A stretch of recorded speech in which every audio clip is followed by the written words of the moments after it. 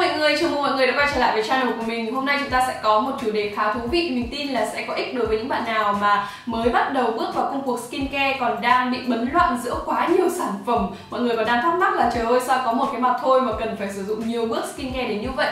Thì hôm nay mình sẽ bật mí cho mọi người 7 loại sản phẩm skincare mà mọi người không nhất thiết phải mua và sử dụng trong routine hàng ngày của mình nhé Trước khi đi vào với phần nội dung chính thì mình cần phải giao trước một điểm đó là tất cả những sản phẩm mà mình chuẩn bị chia sẻ cho mọi người là không cần thiết thì đều là những sản phẩm mà mình đang sở hữu nhiều này, đang dùng hàng ngày và đang cảm thấy rất thích.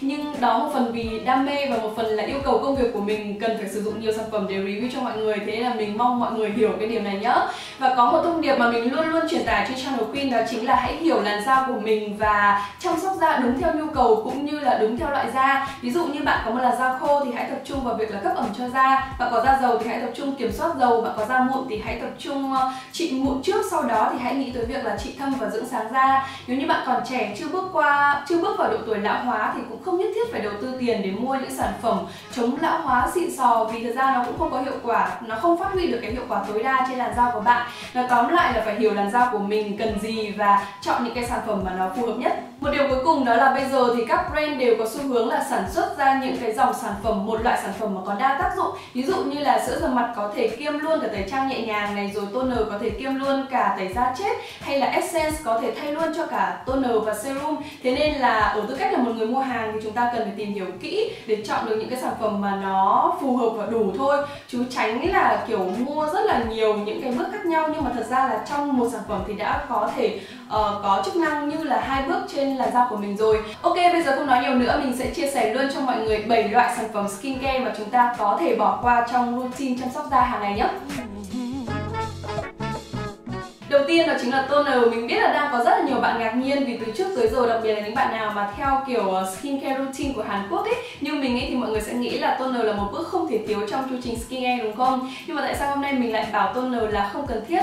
Thì bởi vì nếu như bạn đang tìm một cái loại toner mà nó có chức năng là cân bằng độ pH cho da, Thì bạn hoàn toàn có thể tìm một cái loại sữa rửa mặt dịu nhẹ có độ pH sấp xỉ 5.5 cho tới 6 Nó sẽ ngang bằng với độ ờ, sấp xỉ với độ pH của da Thì ờ, sau khi làm sạch xong da không hề có cảm giác là bị khô căng, khó chịu, bị tăng về ờ, tính kiềm quá. Vậy là chỉ với một sản phẩm sữa rửa mặt dịu nhẹ là chúng ta đã có thể đáp ứng được hai nhu cầu cho da. Đầu tiên là làm sạch sâu và thứ hai là vẫn giữ được độ pH của da, đúng không? Hai đó chính là Essence. Essence thì là phước định giữa toner và serum và Essence cũng được thiết kế khá là đa dạng cả về texture và công dụng. Thế nhưng mà uh, theo kinh nghiệm của mình và nhìn chung nhất ấy, thì mình thấy là Essence thường có cái texture nó đặc hơn toner và lỏng hơn serum một chút xíu. Về công dụng thì cũng khá là cơ bản, ví dụ như là cấp ẩm này rồi làm sáng da, làm mịn da và chống lão hóa. Thì mình thấy là với cá nhân mình ấy thì mình cũng có khá là nhiều Essence nhưng mà thường thì mình bỏ qua bước Essence hoặc là những hôm nào nào mà mình sử dụng essence rồi thì mình không cần thiết phải sử dụng toner nữa. Mình rửa mặt sau đó thì mình sử dụng essence luôn. Chính vì vậy mà nếu như bạn đã có toner hoặc là serum rồi ờ, thì bạn có thể hoàn toàn bỏ qua được bước essence mọi người nhé. Ba đó chính là eye cream kem mắt mình là một đứa rất rất thích kem mắt thậm chí mình có làm một video dài ngoằng về kem mắt để review cho mọi người rồi cơ. Thì nhưng mà đây là mình đang bước vào độ tuổi 25 ngoài 25 rồi, thú thực là da mắt của mình nó đang xấu đi rất là nhiều. Xuất hiện nếp nhăn, thậm chí mình đã từng phải đi tiêm botox rồi cơ. Đó, thì nếu như bạn chưa phải là một người ở độ tuổi tầm như mình hoặc là da mắt đang có xu hướng là bị lão hóa, thì bạn không nhất thiết phải mua kem mắt và phải quan tâm tới kem mắt bạn hoàn toàn có thể sử dụng luôn cái loại kem dưỡng cho mặt tập trung hoa nhiều hơn ở vùng mắt. Kết hợp với việc là massage thư giãn thì nó sẽ giúp duy trì được cái sức khỏe của vùng da xung quanh mắt mọi người nhớ thêm vào nữa đó là kem mắt thì không không hề rẻ một chút nào cả. Và để cái mắt phát huy được tác dụng ở trên vùng da quanh mắt của mình thì cần phải một thời gian dùng khá là kiên trì và dài. Không phải ai cũng có đủ điều kiện để ờ, đầu tư cho cái mắt dùng hàng năm như vậy đúng không? Đó uh, một điểm nữa là một số bạn có hay chia sẻ với mình về cái việc là mắt của mọi người bị thâm ấy thì mình cũng nhấn mạnh lại một lần nữa là cái mắt sẽ không giúp mọi người hết thâm mắt được đâu. Bởi vì là bản chất cái việc mà chúng ta bị thâm mắt là do những cái mao mạch ở theo thời gian ấy thì cái những cái mao mạch máu của chúng mình ở phía dưới mắt này nó sẽ giãn ra thì kiểu mà cái vùng da mắt của chúng ta rất là mỏng chính vì vậy mà chúng ta nhìn rõ thấy những cái mạch máu rồi các thứ ở bên trong thì nó sẽ bị ờ, đậm màu hơn bình thường. Bên cạnh đó thì có một số nguyên nhân ví dụ như là ăn ngủ nghỉ sinh hoạt các thứ các thứ nữa thì mọi người hãy thay đổi để cải thiện được cái việc là bị thâm mắt nhé còn sẽ có một số những cái loại kem mắt trị thâm thì nó chỉ giúp là làm sáng hơn cái vùng bề mặt da ở bên ngoài thôi chứ nó không thể nào mà um, trị được cái nguyên nhân gốc ở bên trong ấy. Thế nên mọi người cũng hãy ghi nhớ điểm này và có một cái cái nhìn chính xác hơn với cái mắt mọi người nhé thứ tư đó chính là face mask và face mask thì có rất là nhiều loại như là mặt nạ giấy này mặt nạ ngủ này rồi uh, mặt nạ dừa thú thực với mọi người thì mình thấy đây là những cái loại sản phẩm rất là xa xỉ và thực sự là không cần thiết lắm. Đầu tiên với mặt nạ giấy thì mình đương nhiên mình rất là thích mặt nạ giấy nhá và mình cũng rất là hay đắp mặt nạ giấy. Thế nhưng mà mình thấy là mặt nạ giấy cái công dụng chủ yếu nhất của nó vẫn chỉ là cấp ẩm thôi cái công dụng mà có thể nhìn thấy ngay uh, vẫn chỉ là cấp ẩm thôi mọi người ạ. Có một số loại mặt nạ giấy thì kiểu giúp uh, dịu da rồi có thành phần trị mụn, nhưng mà nó vẫn không phải là cái sản phẩm chính giúp chúng mình có thể trị mụn được mọi người ạ. À. thế nên nếu như bạn đã có một cái chương trình dưỡng da phù hợp với làn da của mình rồi thì bạn không cần thiết phải mua thêm mặt nạ giấy. Đó. Mặt nạ rửa thì mình thấy phổ biến nhất là mặt nạ đất sét, và mặt nạ đất sét thì có tác dụng là hút dầu thừa bã nhờn cho những bạn mà có da dầu mụn, và nó cũng chỉ phù hợp với những bạn mà có da dầu mụn thôi. Thế nhưng mình thấy là nếu như bạn đã chọn được một sản phẩm làm sạch sâu ok, cùng với một bạn tẩy da chết hóa học ok thì bạn hoàn toàn toàn không cần thiết phải mua thêm mặt nạ đất sét Mặt nạ ngủ thì có chức năng chính là dưỡng ẩm thêm vào ban đêm cho da và một số loại khác thì có thêm cái chức năng là làm sáng da hay là chống lão hóa. Thế nhưng nếu trước đó bạn đã sử dụng một cái loại kem dưỡng ẩm ok rồi, bạn có sử dụng um, serum vitamin C, một loại làm sáng da hay là chống lão hóa rồi thì bạn hoàn toàn có thể bỏ qua được cái bước mặt nạ ngủ mọi người nhé. Chúng mình không thực sự phải sử dụng dầu dưỡng da trong chương trình skincare hàng ngày. Dầu dưỡng da thì thành phần được chiết xuất khá là tự nhiên. Ví dụ như là dầu nụ tầm xuân này, rồi dầu bao báp này, bao bắp oi này, rồi dầu quả nhau. Nói chung là những cái công dụng của nó thì thường là cấp ẩm xe thiết lộ chân lông, làm sáng da hay là uh, góp phần chống oxy hóa cho da. Đều là những cái công dụng mà mình đã có thể tìm được ở trong một sản phẩm serum rồi. Thế nên nếu như bạn đã tìm được một cái loại serum đặc trị cho làn da của mình đáp ứng được cái nhu cầu da hiện tại của mình thì bạn không nhất thiết phải sử dụng dầu dưỡng da. Chưa kể tới là dầu dưỡng da còn có một nhược điểm là dễ làm bí tắc lỗ chân lông. Mình thì mình cũng có sở hữu khoảng hai ba loại dầu dưỡng da ấy, thế nhưng thú thực với mọi người là mình cũng chỉ dùng để test thôi. Hoặc là dùng trên mặt khoảng hai ba buổi là mình đến buổi thứ ba thứ tư là mình bắt đầu cảm thấy hơi hơi ngại dùng và lười dùng rồi. Nếu như mà đã có serum rồi thì hoàn toàn có thể bỏ qua bước dầu dưỡng da hand cream cũng là một sản phẩm mình cảm thấy khá là xa xỉ. Thật ra thì có một cái tip kem dưỡng tay QQ mùi thơm thơm Để ở trong túi sách đi làm hay là cặp đi học mà nhất là trong mùa đông ấy Khi tay khô bỏ ra thoa thì cũng cảm thấy khá là ok. Thế nhưng mà theo kinh nghiệm sử dụng thì mình thấy là Nếu như mà đã có body lotion rồi thì không cần thiết phải mua thêm kem tay Nó sẽ rất là thừa. Với cả một cái nữa là ở, ở bên ngoài ấy khi mà không phải là lúc nào tay của chúng ta cũng sạch để mà thoa kem tay được thì tốt nhất là ví dụ như mình chẳng hạn, mình thấy một cái một cái routine nó hợp lý nhất cho dưỡng tay đó chính là sử dụng sáng tối tối sau khi tắm xong, rồi sáng sau khi đánh răng rửa mặt xong, bắt đầu skincare. Lúc mà skincare xong ấy thì mình sẽ dùng body lotion để mình thoa luôn cho vùng tay. Đó, thì chúng ta hoàn toàn có thể không cần tới một tuyết kem dưỡng tay, mọi người nhé.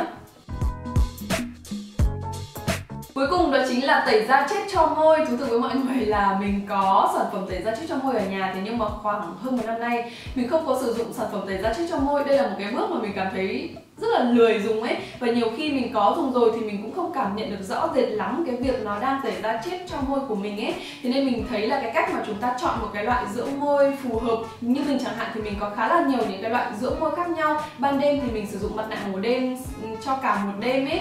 Còn ban ngày thì mình sẽ dùng ờ, son dưỡng uh, mình dùng sáng trưa này rồi tối ừ, mình cũng dùng nói chung một ngày mình dùng khá là nhiều son dưỡng. Và nhiều khi là mình cứ cảm thấy môi của mình khô là mình sẽ thoa thôi đó, thì mình thấy là cái hiện tượng bong chóc môi nó sẽ rất là ít xảy ra, nó có xảy ra thế nhưng mà nó không nhiều. Và những cái lúc mà nó bong ra môi của mình đang mềm như vậy thì mình hoàn toàn có thể dùng tay mình bóc ra. Mình không khuyến khích mọi người là là dứt vẩy da chết ở môi như vậy, nó sẽ rất là tổn thương tới vùng da môi nhạy cảm. Nhưng mà nếu như mà chúng mình thoa son dưỡng hết xong mà nó mềm ra thì hoàn toàn có thể nhẹ nhàng lấy tay um, lấy vải da chết của môi ra được. Mình biết đây còn là thú vui của nhiều bạn nữa đúng không? Đó hoặc là có một cái tip nữa mà mình hay áp dụng là những hôm nào mình cảm thấy là da môi của mình bị bong chóc thì tối lúc mà mình đánh răng ấy khi mà môi của mình nó có nước nó mềm rồi này thì mình sẽ lấy cái bàn chải đánh răng mình ờ, uh, chà nhẹ nhẹ để um, làm sạch cái vùng da môi. Đương nhiên là nhẹ nhàng thôi và cái bàn chải đánh răng nó cũng phải mềm chứ đừng kiểu chán như đánh răng thì như vậy nó sẽ hủy hoại môi mọi người nhé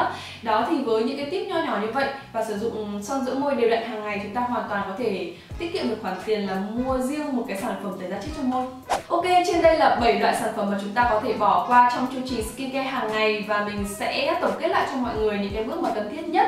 Ờ, những bước nào cần thiết nhất đầu tiên chắc chắn là phải làm sạch rồi. Nếu như bạn make up thì bạn cần phải double cleansing. Bạn sẽ cần phải mua dầu tẩy trang hoặc nước tẩy trang và một loại sữa rửa mặt. Còn nếu như bạn chỉ sử dụng kem chống nắng thì bạn hãy mua một cái loại sữa rửa mặt gốc dầu. Nó có khả năng tẩy trang nhẹ nhàng để làm sạch sâu tất cả những cái ờ, cặn bụi bẩn cũng như là là kem chống nắng để lại trên da sau một ngày dài nhá. Thứ hai đó chính là tẩy da chết, tẩy da chết cả vật lý và hóa học đều ok. Thế nhưng mà mình thì mình sẽ khuyên mọi người là sử dụng tẩy da chết hóa học. Khi mà chúng ta đã có một cái bề mặt da khỏe mạnh này rồi, lỗ chân lông thông thoáng, ít vấn đề thì sẽ tiết kiệm được cực kỳ nhiều tiền để mua những sản phẩm ờ, đặc trị đắt đỏ. Về tẩy da chết thì mình cũng làm nguyên một video dài cho mọi người rồi. Mọi người có thể xem lại video đó để chọn ra cho mình được một cái loại tẩy da chết hóa học phù hợp với da nhé Thứ ba đó chính là serum. Serum thì chúng mình đang gặp phải cái tình trạng da như thế nào thì hãy mua một cái loại serum để giải quyết tình trạng da đó. Ví dụ như là da uh, dùng kem dưỡng rồi thì nhưng vẫn khô thì mua loại serum có khả năng là cấp ẩm sâu. Rồi nếu mà cần da đang ngăm cần sáng màu hơn da đang bị thâm cần trị thâm thì hãy mua vitamin C.